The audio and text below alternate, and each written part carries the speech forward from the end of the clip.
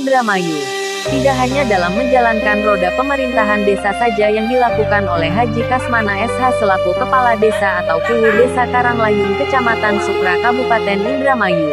Upaya bersilaturahmi serta berkunjung kepada warga Jompo dan warga yang sedang sakit menjadi program serta agenda rutin tiap hari Jumat berupa Jumat berkah oleh pemerintahan Desa Karanglayung.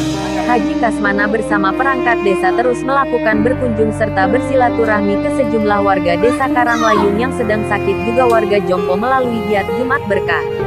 Pada giat Jumat Berkah yang dilaksanakan Jumat tanggal 9 September tahun 2022 Haji Kasmana kepada kreator TV mengatakan, Jumat Berkah adalah kegiatan rutin yang menjadi agenda pemerintahan desa Karanglayung yang kami dipimpinnya.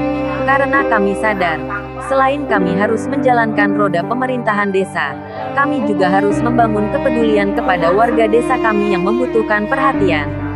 Seperti warga yang sedang sakit juga warga jompo dengan tidak memandang status.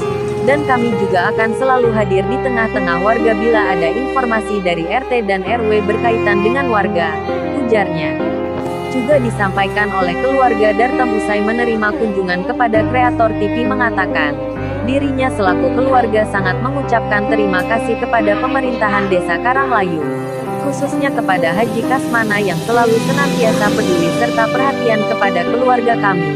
Semoga apa yang dilakukan oleh beliau mendapatkan pahala dari Allah serta berharap semoga program Jumat Berkah terus dilaksanakan. Karena program tersebut merupakan program yang sangat baik yaitu sebagai bentuk silaturahmi langsung dengan warga. Harapnya